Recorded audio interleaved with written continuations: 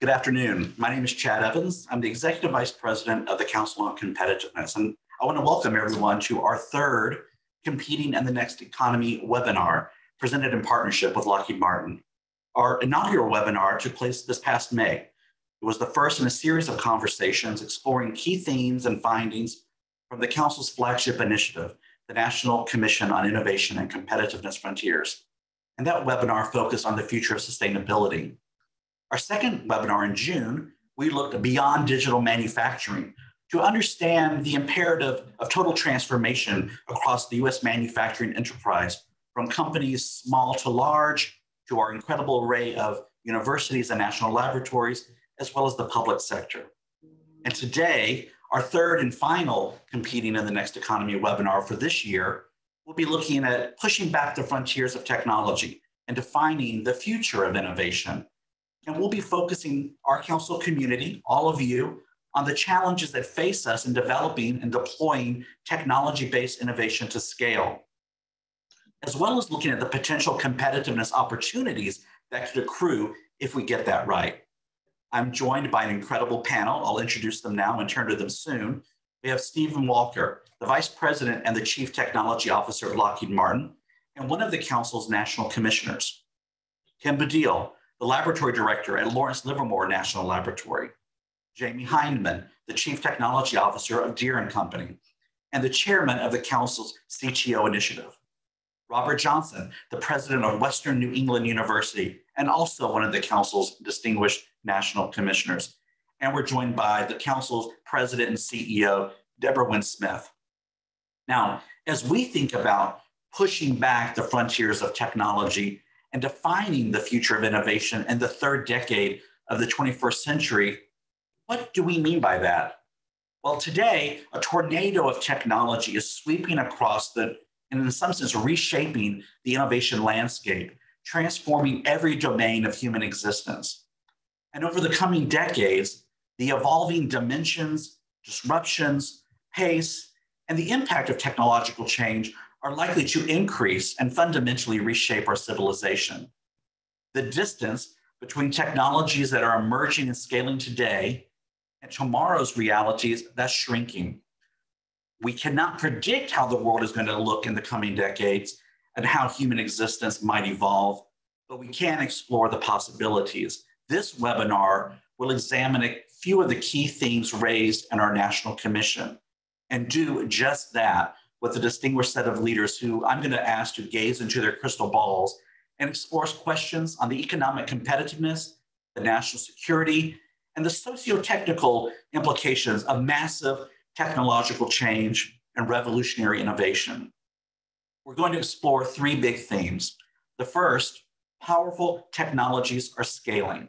Our National Commission highlights just a few of these. For example, sensorization is spreading like wildfire across our natural, built, and personal environments, while the Internet of Things is creating the largest system in history, connecting things on the planes of Earth, sky, and space at a scale once unimaginable.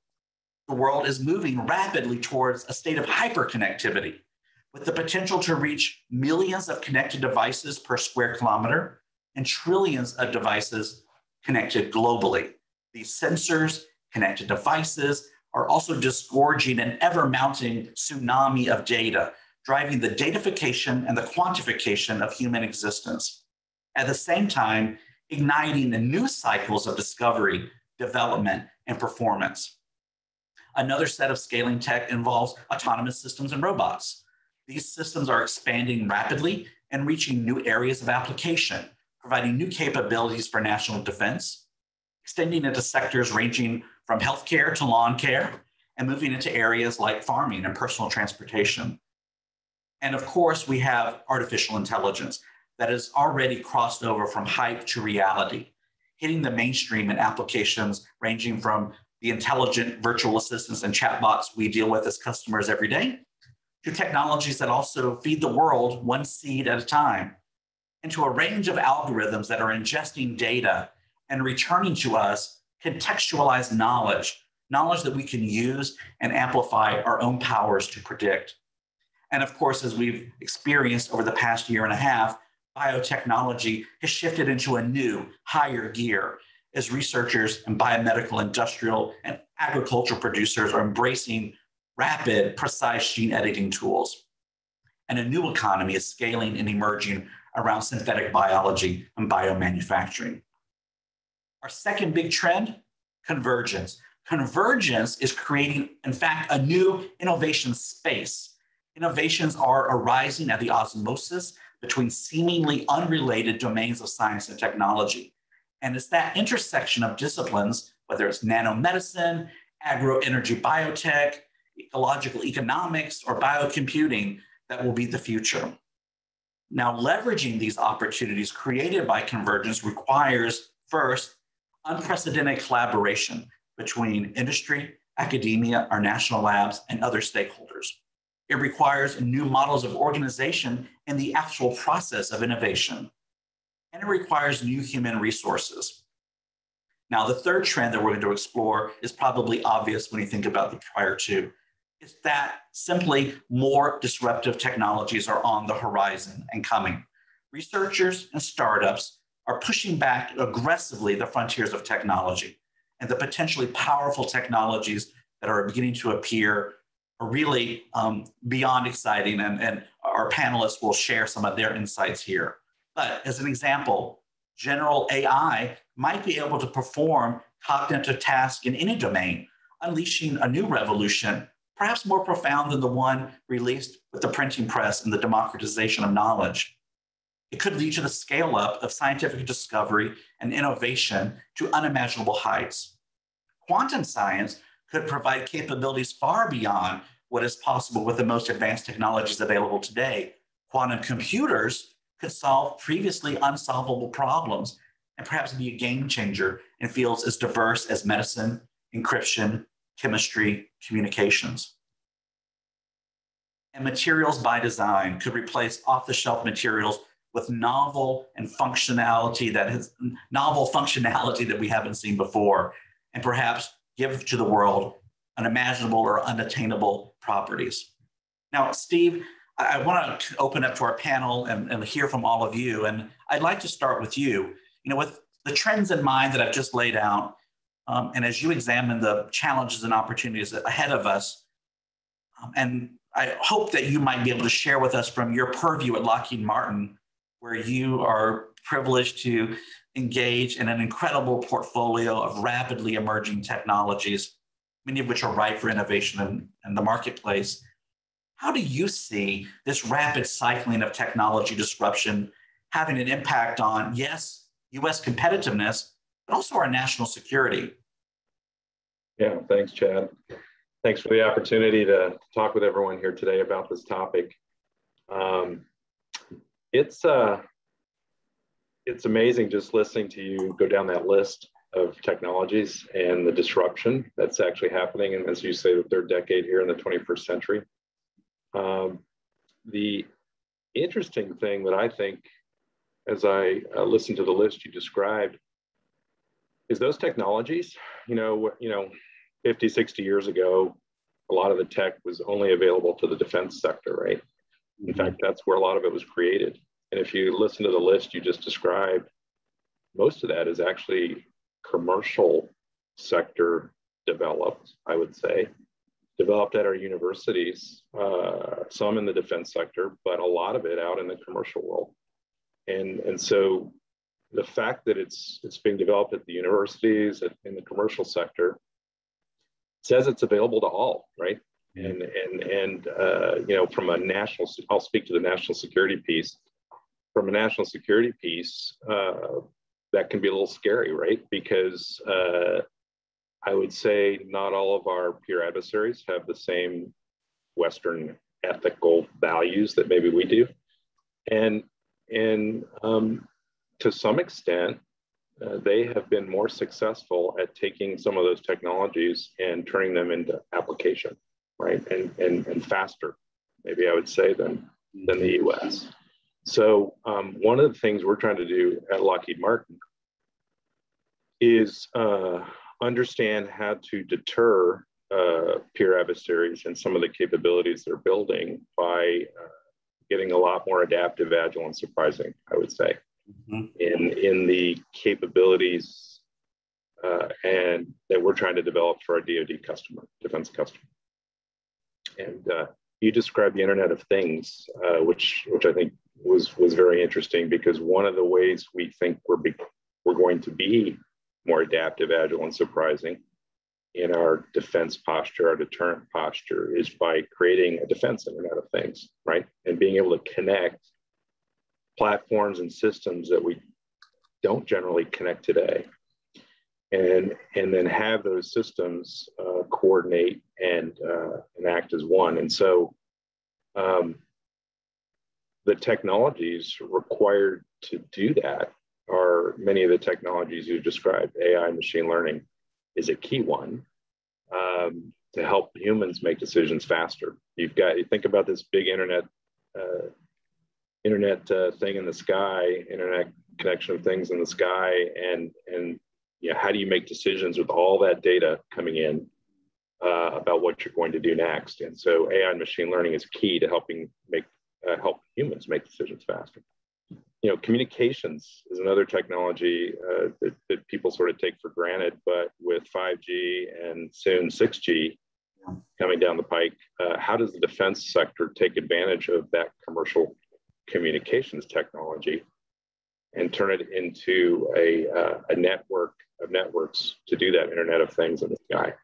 So we at Lockheed Martin have uh, programs in all these areas that we're working with the defense uh, customer uh, to, um, to, to get ahead of the game here in, in many of these technologies. Now, we realize we got to work with the commercial sector to do it. And so I would say one of the ways we're, we're trying to develop these capabilities faster is by working with US commercial companies. And, and you know as well as I do that some of our peer adversaries, uh, you know, kind of blur the lines between commercial and defense.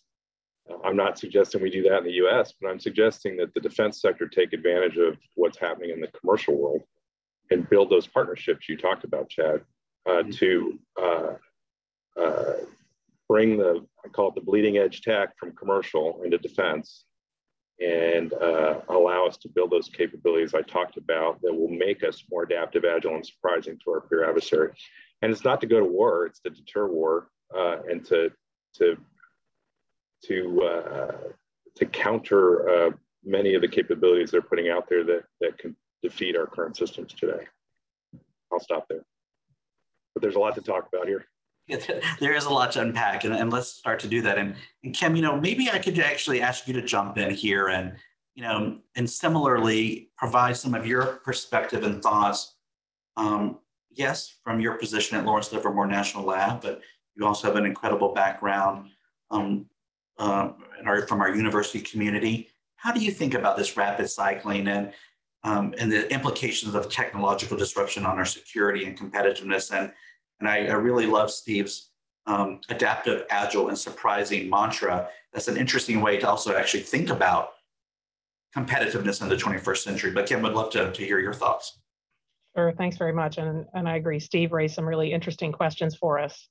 Um, I think for us in the national lab environment, we sit at a really nice nexus of the communities that he described. We work very closely with the academic community, uh, drawing on the fruits of fundamental research, participating in the international science and technology community, understanding trends, uh, but also working with industry and really trying to bring technologies um, out of that ecosystem into um, application space. But there are two things that I think are really important today uh, that have changed very rapidly. One is this uh, theme around democratization or lowering the barriers to access. There was a time where strategic technologies could be protected because only state actors or large government programs could get access to those types of technologies. And certainly in information technology and biotechnology, even access to space, you know, that's no longer the case. So the national security space is incredibly complex. And the second one is speed. You know, the um, government innovation ecosystem wasn't built for speed. It was built for long-term commitment to big challenges. And so we're going through a transition right now where we're learning how to keep that long-term perspective, but develop the kind of rapid innovation cycle that you see in the private sector. because that really is our strategic advantage. Um, you know, if you think about the technology uh, areas we've been discussing in, you know, communications and Internet of Things, et cetera, the difference between civilian technologies and benign applications and military and defense applications is very hard to discern. So, you know, cyber capabilities are ubiquitous. It's amazing what we'll be able to do with you know, collaborative autonomy and the defense Internet of Things, but that also means we're more dependent on cyber capabilities, space capabilities, those technologies than we were in the past. So thinking about not just the benefits they accrue to us, but understanding what kind of vulnerabilities they may present to us as well, I think is important uh, in this environment. So I see, you know, enormous opportunity uh, but for us, really thinking about both the, the positive benefits of technologies, I'll use AI as an example for us. We're spending a lot of effort on machine learning and AI technologies. Um, but how do you assure your systems when they're built on um, artificial intelligence engines? How do you uh, protect your cyber assets when you know that barriers are not an option in that environment? How do you assure uninterrupted access to key nodes in your communication network uh, in this very complex environment. So um, I think it's a really interesting time and it's presenting a really great, from my perspective, uh, challenge to the traditional um, defense innovation ecosystem to, to really step up and, and generate that pace that I think will be our strategic advantage. Kim, I, I, this your reflections on the points that Steve made around speed and agility, but also introducing this idea, of the democratization of the innovation process, both for the positives that that implies that you know a young woman in a garage today can create a new business without perhaps the traditional tools of innovation that, that we might have thought of even just 5, 10, or 15 years ago. But then the flip side, you know, the, the challenges that that, democrat, that global democratization, the fungibility of research and innovation capacity, what that might mean for security. I'm wondering, and I'll ask Steve, you and Kim first, but then I'm going to open it up to Jahmy and Robert and Deborah for their comments on this as well. What do you see as the most critical national security issue in this, this rapid churn of technology and innovation?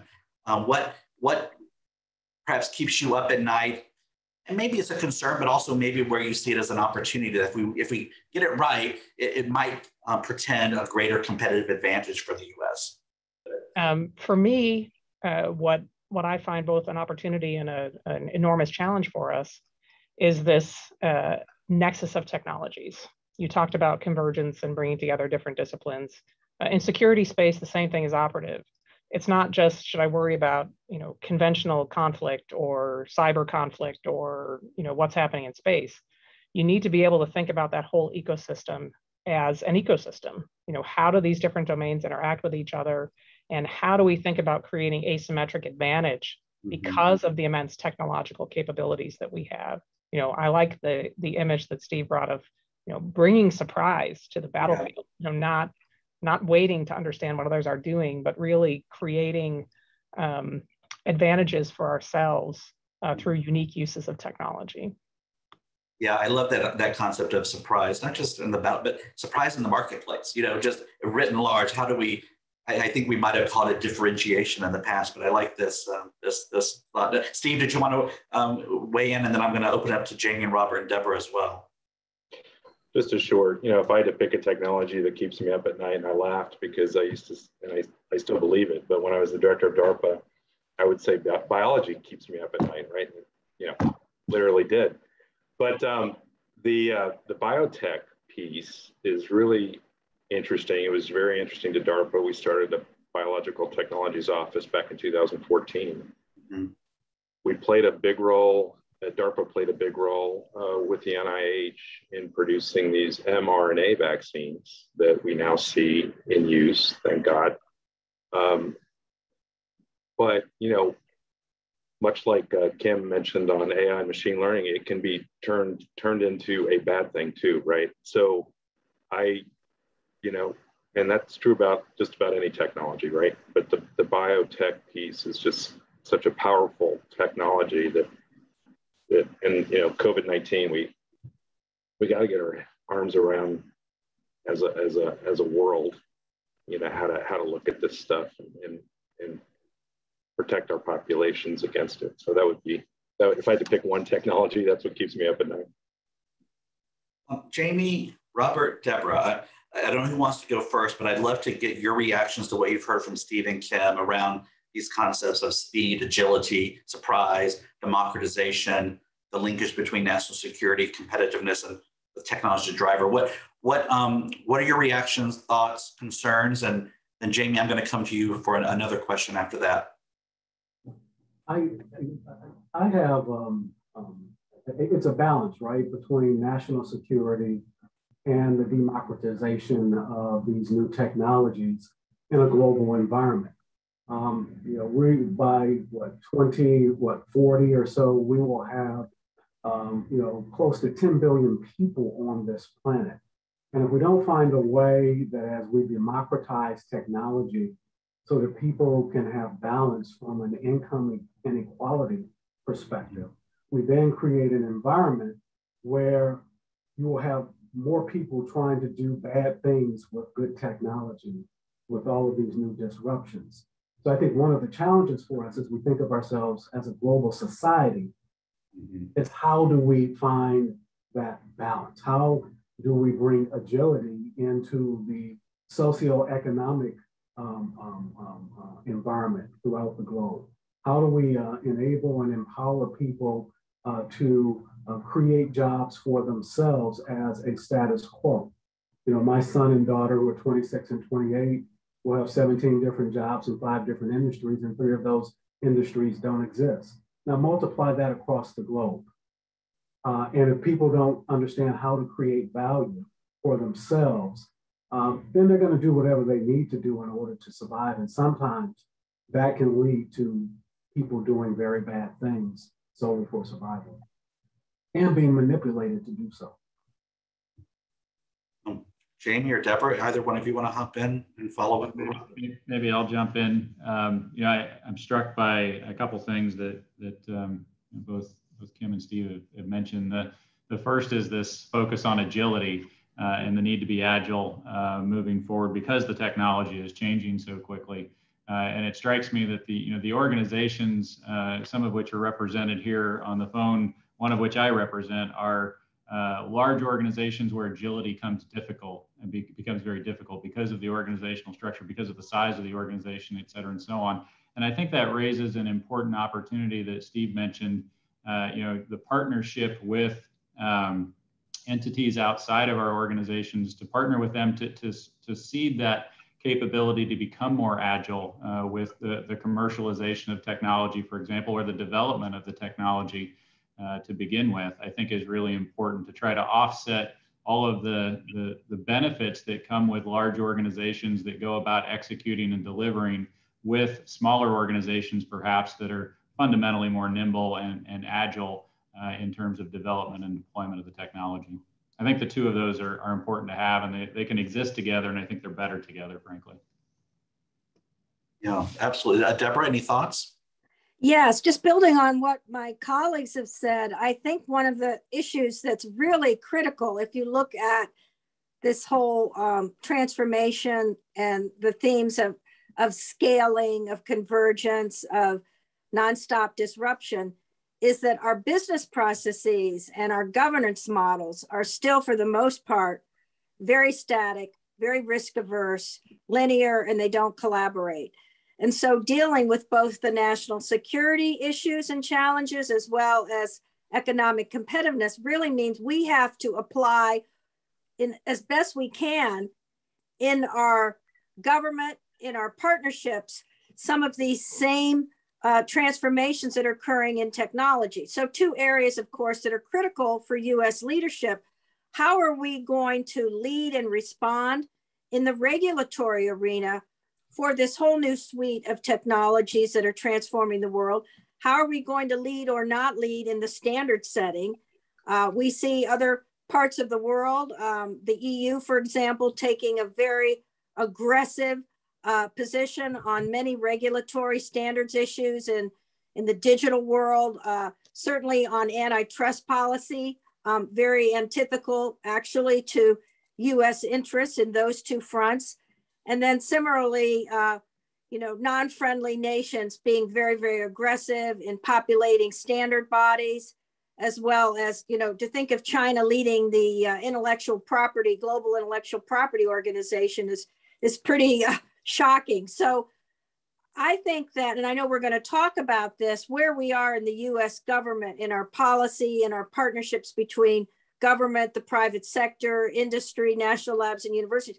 We have to also begin to think of absolutely new disruptive models and collaborating across traditional silos. And then I hope, Chad, as we get into the discussion, let's talk a little bit about how we should collaborate in the global arena where this concept that Steve's brought in of surprise is very significant. And this new, you know, strategic agreement um, and relationship between Australia, the US, and the UK is an example of a surprise. Deborah, absolutely. We, we are going to come back to those issues. Um, so you, thank you for foreshadowing and, and, setting that stage. Before we get there, I'd like to ask all of you, and, and Jahmy, I'm going to start with you first, though, to think and help uh, our, our audience think more deeply about um, as we traverse this sort of cycle of tech driven innovation, creative destruction, we see the reorganization of our society, our economies, our labor markets. I mean, in that context, what do you see as the industries that are perhaps most likely to face, I would say, the most major technological disruption in the years ahead, and why? That's a great question, Chad. And I think the list would actually be shorter if you asked the inverse question. Frankly, yeah. I think that's that's uh, the magnitude of what we're talking about. You know, whether you look at what alternative energy is going to do in the automotive sector, uh, you look at what I, I would call digital travel, which I think is what we're doing now, and, and how that's shaping and changing. Uh, you know, aviation as we know it, uh, the services industries that are being uh, you know augmented by uh, virtual reality, by artificial intelligence, et cetera, and so on. I think the the scope of what we're talking about is is frankly enormous, and I think there will not be an industry that isn't touched by technology in some way. But maybe I'll dig deeper on on one that I'm intimately familiar with, mm-hmm. Chad, and then uh, maybe provide some some uh, food for thought for how that mental model uh, might be uh, extrapolated to other uh, parts of of, uh, of industry. and so the one that I'm going to reference is agriculture. working for Deere, it, it's near and dear to my heart. And if we think about these technologies uh, and how they've impacted agriculture, uh, whether that's you know autonomy and higher levels of automation helping to augment and offset uh, what is uh, you know a labor shortage, I would argue universally. Uh, if you look at the, the latest uh, census report from the U.S., you'll notice again you know a shift from rural to urban. fundamentally, that's a challenge for the folks that operate the equipment on my desk behind me uh, to get the job done every day that they have to do in order to, to provide food for, uh, as Robert already mentioned, a, a growing world population. Um, but in addition to that, the technology that's being deployed on farms today in and around this idea of precision ag is the, the notion that we can take what was once an intractable problem. Uh, imagine, you know, 200 million acres of corn ground uh, in, in the United States alone at 40,000 plants per acre. Uh, and, and that was typically treated all the same way by a farmer. They applied the same practices across every acre of that ground. Uh, they applied the same rate of seeding. They applied the same fertilization, you know, the same herbicides, the same inputs, uh, and harvested it all in the same way. Uh, and maybe made changes uh, recently, you know, the last 20, 30 years in the genetic variety of crops that they planted but generally the crops were all treated the same. Uniformity was required because of the scale at which the operation uh, was, was uh, because of the scale of the operation and the magnitude uh, of, of the, the operation. And today we're at a point where we can start to consider and think about uh, you know, treating every one of those corn plants, you know, every four, all 40,000 of them per acre as an individual plant and what does that plant need individually to maximize its potential? Um, what does it need in terms of nutrients? What does it need, need in terms of crop care? Uh, and what does it need because it's dependent upon its neighbor for sunlight and all sorts of different things? It's in competition. uh, with its neighbors? How do we maximize the individual contribution of each and every corn plant? And you think about that just in terms of scale, it's tremendous, right? It's 40,000 plants per acre, 200 million acres just in one crop type. But we're rapidly approaching a point where the technologies that we've all talked about today, whether it's you know machine learning, artificial intelligence, uh, you know connectivity that's nearly ubiquitous and at latencies and bandwidths that make it make it tractable, uh, large data set manipulations, cloud computing, et cetera, and so on. All of those things have sort of come together in the modern time to make that problem possible, right? And so that's this idea of being able to execute precision at scale. And I think if you take that idea and you extrapolate it, I'll give you uh, an example, uh, and it's, it's pertinent maybe for some of the folks on this call in education, higher education. What if we had the capability of, of applying precision at scale for each individual student? right? Mm-hmm. How, if we could maximize the potential of each individual student and cater to their needs, how they learn, when they need to learn, what they need to learn. Uh, you know, I think the opportunity in that space is pretty tremendous because it, it fully optimizes the individual problem and it does it at scale. And we're getting to the point where that is, uh, that is a solution that we can entertain. It's possible for us to do it. And I think that future is really, really exciting. Jahmy, before I let you go and before I open up to the, your fellow panelists with some of these provocative um, remarks, um, you know, you just brought to life for us the concept that Steve kicked us off with agility. You couple to that precision at scale, and you highlighted just a little bit. I, mean, I wonder if you just go a little bit deeper on what kind of infrastructure underpins that ability to be more agile, to be more precise at scale you know, you hinted at AI and some other um, technologies, but I'm wondering as you think uh, from your seat um, at Deere, what matters most to you and your future? What sort of infrastructure investments are going to be needed to enable you to be even more agile, more precise? Yeah, I think a foundational element, Chad, is connectivity. You know, if you can't connect the entities that you need to be able to measure from and get that information to a point of usefulness for whoever is is deriving value from it, uh, the whole thing falls apart, right? So this this uh, uh, connectivity problem is the one that that is the foundation, in my view, for this precision at scale idea. Uh, and I think it applies more than just to the agricultural use case. It's it's more difficult perhaps in agriculture because of the rural environment that we operate in. But nevertheless, if you extrapolate it out into other use cases, you fundamentally come back to this need to, to, to acquire the information to be able to operate precision at scale. And that, that fundamental building block is connectivity in one way, shape, or form.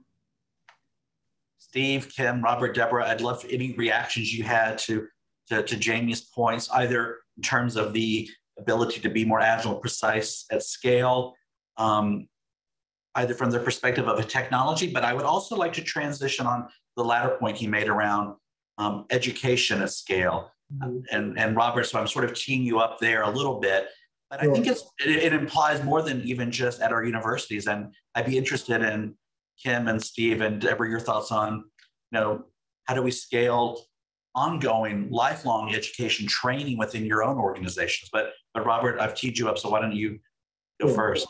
Sure. I, I, as I as I think about this, um, as I was listening to Jeremy, what we're really talking about, or Jahmy, what we're really talking about is is personalization. You know, how do we how do we, we scale everything up uh, so that it can be um, personalized in terms of the experience, the student experience, the consumer experience, and, and I shouldn't say consumer experience, I should say prosumer experience, right? The consumer experience is you build a product and people will buy it. The prosumer experience is the, uh, the, the consumer says, this is what I want, and the manufacturer produces it exactly the way that you want it. Because I think in terms of, of, of education, uh, what we really have to do, um, you know, from a university perspective, and I think also from a K through 12 perspective, is, is we have to create, you know, what I think of as new traditional universities.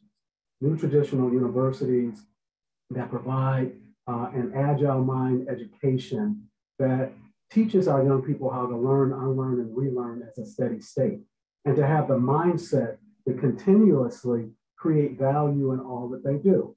So, my job, my role as a university president is to teach our people to learn, unlearn, and relearn, and say, we're going to help you get that first job, but every job thereafter, you're going to have to create, even if you're working for John Deere for the next 20 years and you move in and out of five, six, seven different uh, positions, you're going to have to be in this constant state of reinventing yourself.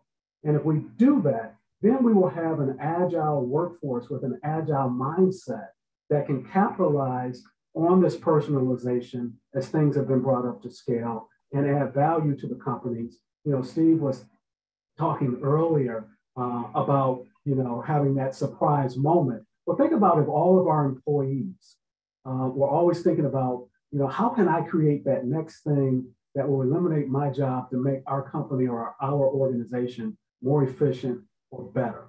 Well, our educational model has to be like that as well. Let's face it, our K through 12 system was created for an agrarian economy. Uh, I think that we have to totally deconstruct it and um, you know take it to another level and say, what if we were building our, our, our system from the ground up? What might that look like?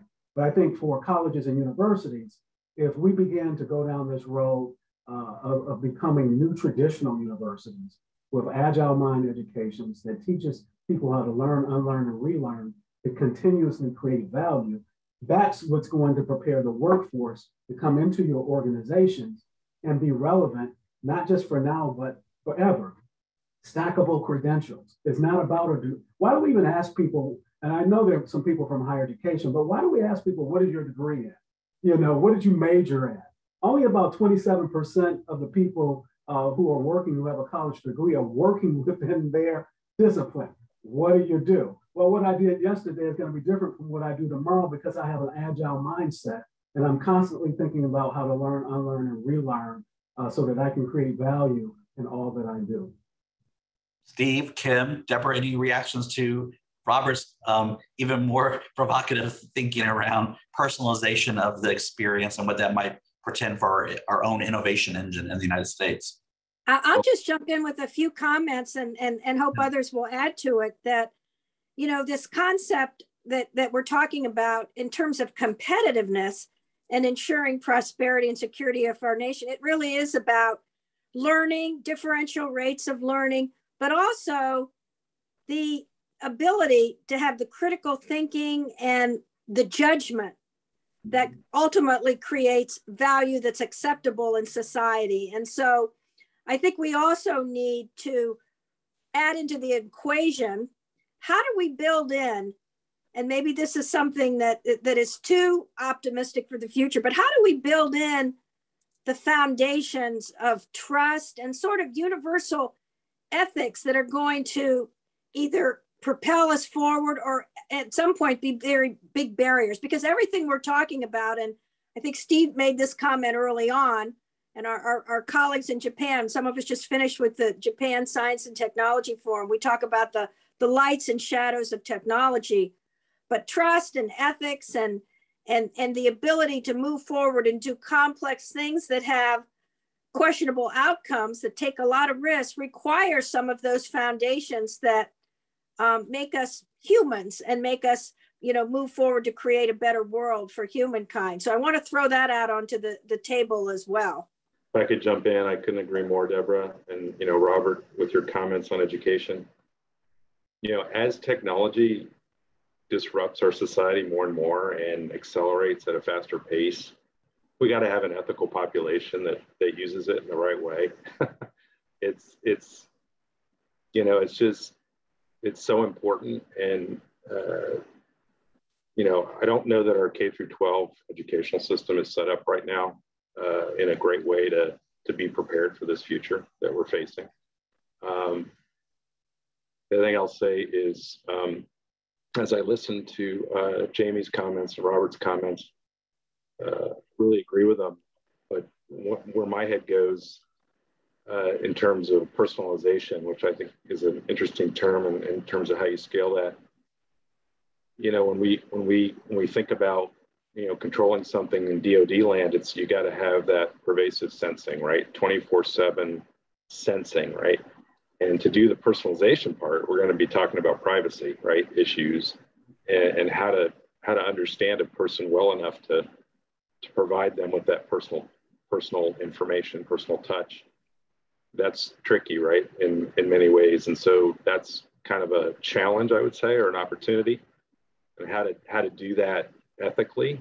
Uh, I think it can be done, but again, uh, think about some of our peer adversaries. They're probably not doing it in the way we would want it done, uh, and you know, trying to personalize uh, their population uh, to do different things. And so, um, just just an, an issue I wanted to raise and throw out there.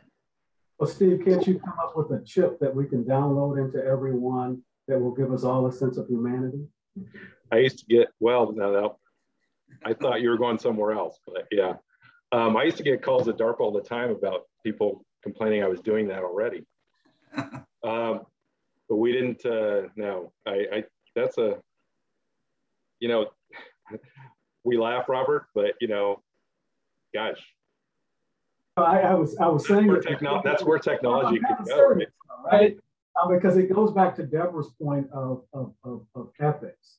You know, I think ethics um, in you know civility, humanity, all of those things uh, should be taught in the schools. It should be taught at all of our colleges and universities. Um, we got to have something common that we rally around that give us a sense of purpose and direction in all that we do. And I think that we have we have lost our way in that regard. There's really only one set of facts, and we need to understand and and be able to have civil discourse about that.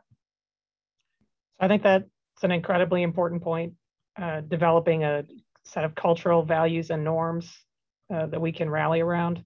Um, you know, the technology exists to do a lot of these things. Technology is not the problem, right?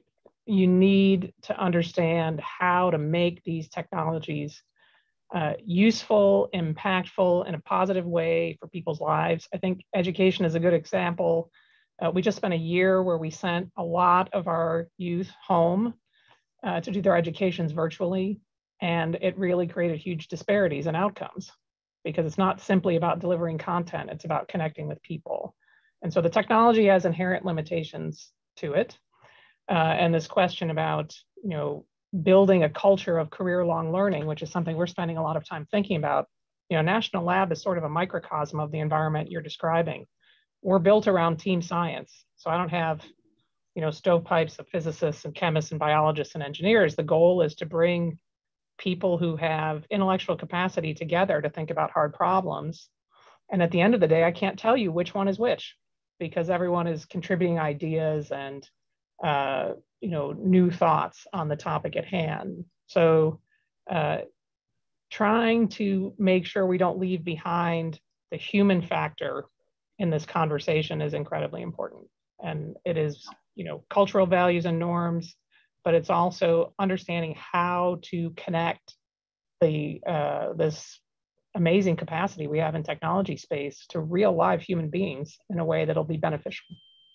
Well, Kim, I would love uh, for the group to follow up on that, and maybe Robert, I'll turn to you first. You know, as we think about this range of disruptive technologies that we kicked off this conversation describing AI, autonomy, extended reality, know, what is this really going to mean for people and for their role in the workforce in our society? Because I think we know there are likely to be very significant disruptions, dislocations. We've seen them at every other major transition point in the history of, of um, our economic history.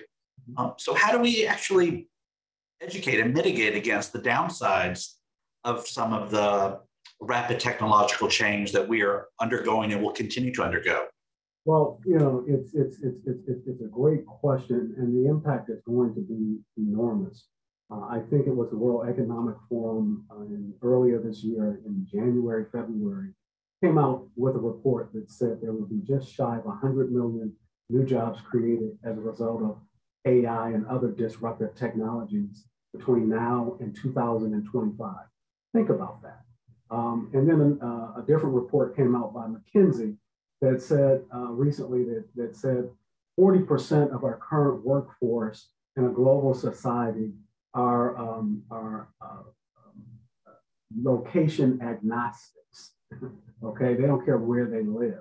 So when we start thinking about a competition for talent, if we don't have the uh, sociological pieces in place and the economic pieces in place within our own country because it, really will be country against country geographical uh, competition for, for, for labor, we're going to find ourselves in a very, very precarious situation. How do we mitigate it? I want to come back first to a point that, that, that, that Kim makes. I think we have to give um, um, the, the, technology is merely a tool. If people do not have the values um, and um, the right thinking as it centers around how to use the tool, it doesn't matter if it's a baseball bat, a gun, a cannon, or the internet, damage can and will be done. So we got to start young with our young kids. We got to totally disrupt our, our, our, K through 12 system. We have to turn it over upside down on its head. And I, I think that as an ecosystem, we have to look at ourselves within education, within higher education, um, in terms of stackable credentials, but not just uh, giving individuals credentials and degrees, but giving them a mindset to understand that they're going to be disruptors and innovators their entire lives. They're going to be value creators their entire lives. So, um, you know, simply because you get a degree, it used to be, you know, you graduate from school and you get a promotion in three to five, five to seven years, and you go up that ladder. You might change a company or two, 30, 40 years later, you know, you're retiring. That is no more. Um, the world is very, very different. So even if I educate one of my alums to with a cyber security certificate, I have to help them understand that's only going to be re relevant for three, four, five years. And you're going to be right back into this mix of, of lifelong learning. So I think we have to begin to build within our ethos, within our um, uh, sociological and economic systems to help people understand that this is a way of life. Look, I grew up in Detroit, and it used to be you get a job in the factory and you had a job for life, you retire and go off into the sunset. One of the reasons why we have so much disruption in our economy uh, socially right now is nobody explained to them that um, the jobs of the past of making 30, 40, 50 dollars an hour, that started back in the 80s in terms of that disruption. And we're now seeing it now. And they don't have the mindset that I need to do something different. So I think that we have to begin to not just getting, look, getting the credential, getting the, the skill set, um, you know, earning the degree or the certificate, that's the easy part.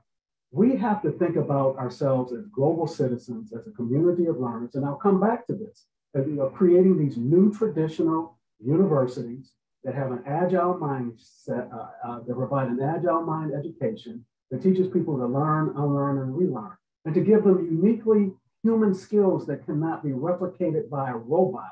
And then, and then if we're in the, in the right mindset to continuously create value, and if they're working for Jahmy or Steve, or if they're at the National Lab, or they have a nonprofit, guess what?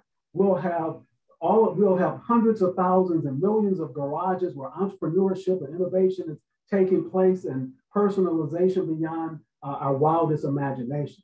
Uh, but I, I, think this piece about people is really important. And I guess I'll close um, with coming back again to Kim as I think about the disruption that has taken place with, with, with, with COVID, and particularly how women have been impacted in terms of dropping out of, of the workforce. And we can talk about disruptive technologies and 100 million new jobs in five years and all of those kinds of things.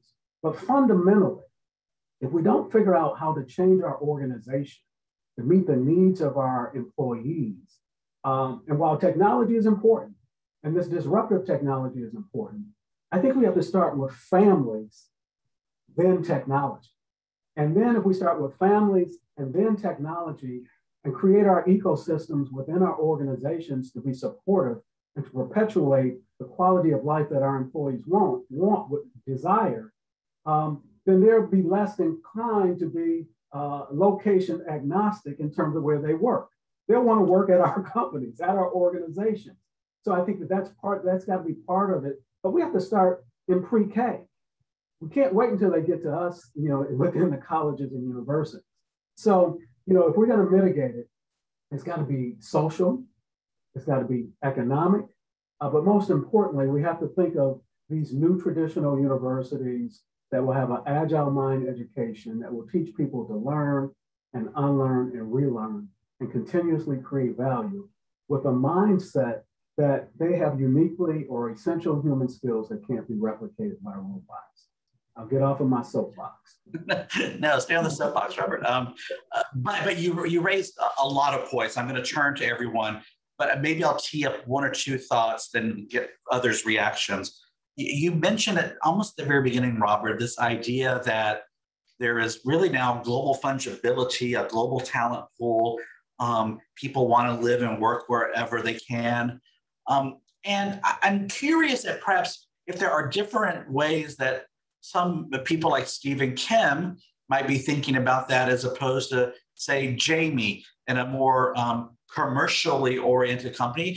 Whereas Kevin, and Steve, I don't want to presume, but in your environments where national security and the types of people you can attract and employ, it might be a little different. So I, I just would love your reactions. And of course, Deborah, um, given your experience uh, would also uh, value your input there. But um, Steve or Kim, I don't know if you want to kick off first. Sure. So it is a little bit different for us uh, in both dimensions. You mentioned, you know, the international character to science and technology. We obviously want to interact with uh, the best people, the best ideas from around the world, and bring them here to our ecosystem. The core of our work is national security focused. So again, that's focused on US citizens in particular, people can get clearances. We do classified research. Uh, we also do a lot of hard technology development. So the second part, this transition to uh, people's expectations around a hybrid work environment or a remote work environment is something we're spending a lot of time thinking about. Um, there are elements of our culture, of our innovation ecosystem uh, that have really been built around interactions, uh, people working together, mixing people who do for example, computational work with people who do experimental science or build things. Uh, and so I don't want to lose all the attributes, uh, good things about that type of uh, mix between people and different cultures. Um, but but also, I you know we're in California. It's a very expensive place to live. Uh, quality of life is very dependent on cost of living, and so giving people additional flexibility to balance their lives and their work. I agree uh, with what Robert was talking about, you know, we have to think about people's lives. I want them to be deeply passionate about their work, but they're entitled to have a life outside of their work as well, and and giving them an environment that allows them to balance those two things, uh, to have adequate supports, to have a family, to um, own a home, to you know have a good life outside of their work environment is critically important to getting them to invest in being a part of our uh, innovation ecosystem here at the laboratory. I'll just add to what Kim said. I mean, we have similar environments, but Lockheed Martin is a pretty virtual company these days. So we we've got people all over the all over the world, and you know, thanks to the internet, we've been able to communicate and keep moving forward. We obviously have production facilities and classified environments and labs where you've got to be there physically, but uh, uh, we're, we're doing a lot virtually these days and we'll continue to because as, as somebody said maybe robert that you know people are you know people are finding that they they're pretty agnostic as to where they work from and so uh, and, and some people though are you know want to work from a certain place and so we're being very flexible these days uh, because it's a competition they'll go to a different company if we're not yeah Jahmy, I agree. I, I, I'm sorry. I do yeah. want to agree with that last point. We have put a lot of time and thought into how to be more flexible. And I would say uh, we demonstrated a level of flexibility in the last 18 months that few people here thought was possible. And we are definitely capturing that and keeping it for the future. Awesome. Jahmy or Deborah? oh, I, I would just add one comment here that all of us that are on this great discussion today have had careers where we've been mentored, where we have learned from our peers at different our peers our superiors whatever you want to call them as we built our, our careers and our capabilities and i am very concerned that the young people that are entering you know this this new world that's before us right now are not having these opportunities to build the the intangible social skills the relationships that we carry forward and we integrate throughout our lives, no matter how many jobs, how many places we're going to be. And so that gets back to this human issue. You know, humans are, we like to be together. And I think we're even enjoying being together right now virtually. So place-based innovation is very important, but also um, how are we going to ensure that all of us that are really in mentoring stage of life give these um, intangible human skills, social skills, um, relationship skills to the next generation of, of young people that are going to build our, our future worlds. Jahmy, any thoughts? Yeah, I just I just throw in, you know, the way the way that um, you know I think it's impacted Deere is that we've seen the, the the competition for talent go from a local competition or a pseudo local competition to a global competition, right? We now are uh, have the ability to secure talent from anywhere uh, across the globe because many positions can be done uh, virtually, and that's uh, that's a blessing and a curse. It, it fundamentally is, I think, reduce the inertia that employees have to get over to number one, leave the company, uh, but number two, to, to go to a different company. And so we we've seen you know both ends of that. Uh, to the point that, that Kim and Deborah have already made, you know, I think the price we pay for that uh, ability to secure talent globally is a, a steeper challenge to build culture. Uh, it's it's just harder to do virtually. Uh, there's no replacement for in-person, in the office uh, conversations and relationship building, and so that cultural identity uh, building takes more intentionality. And frankly, if you don't do it well, uh, you know, it, it results in less stickiness of those employees within your organization. They, they, they find their way somewhere else in the future. So it is a it's it's a blessing and a curse, I guess, is the summary. Folks, we've got about five or six minutes left, so I'm going to pivot to a final question. I'm going to Deborah, I'm going to ask you to perhaps lead off this, but I will ask everyone else to follow up.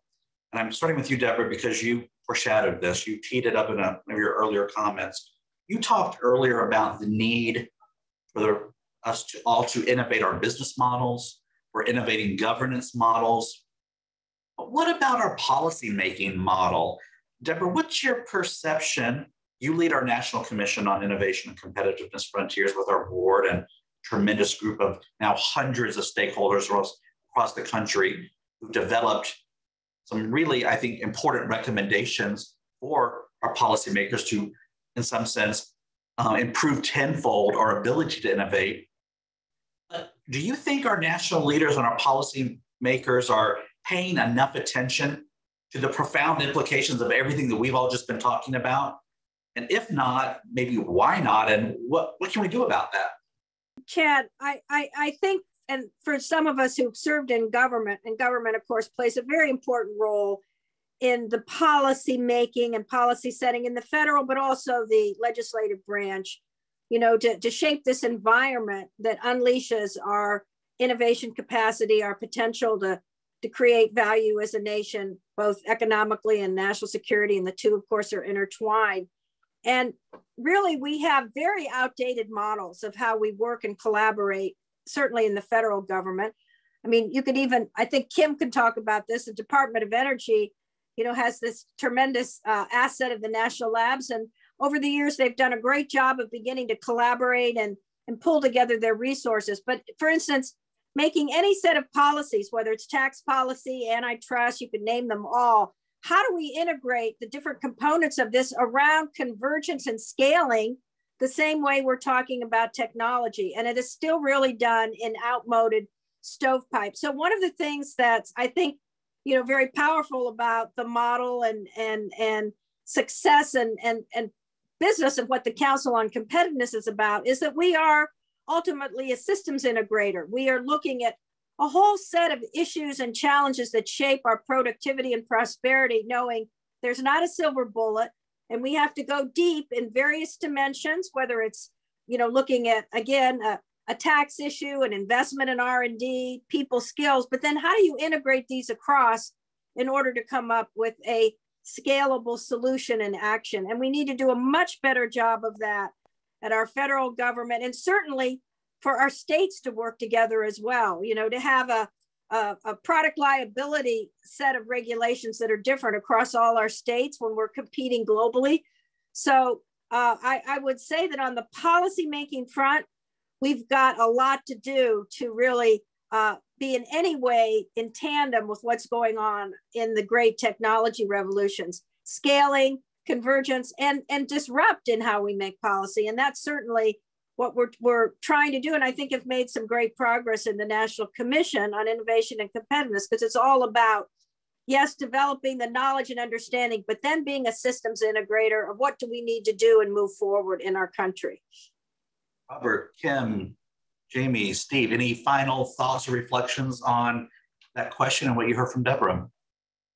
So uh, definitely agree with Deborah's observations. I'll just note, you know, in science, all the interesting things happen at intersections and boundaries. Uh, government is all intersections and boundaries. It's also where friction arises.